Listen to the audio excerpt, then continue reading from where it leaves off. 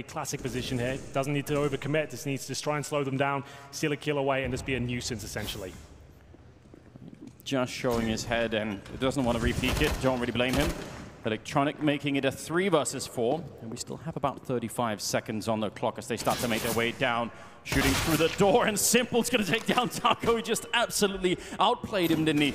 25 seconds, and now they're going to go for the bomb plant. Nobody there to stop it either. And just like that, it's a three on three as Fallen comes in, takes down So Simple again to take down for. Oh! Almost Oh, happened. let him in! what happened? He blocked himself. Did he close the door?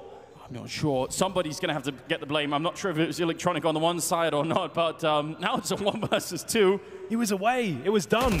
Electronic brings it down to the 1v1, however. coldzera, no kit, no utility, jumps around the corner and is in desperation. And it's gone horribly wrong once again. A five versus three. It all falls apart. We said Electronic.